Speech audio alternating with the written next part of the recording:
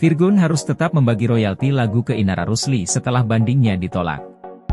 Penyanyi Virgon harus membagi dan menyerahkan setengah royalti pendapatan bersih kepada Inara Rusli.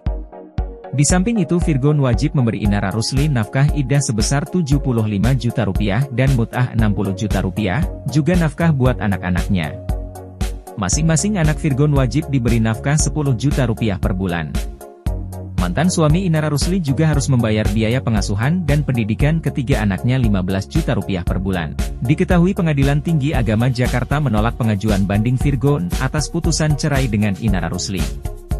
Penolakan banding Virgon tersebut dapat dilihat dari dokumen hasil putusan di Pengadilan Tinggi Agama Jakarta.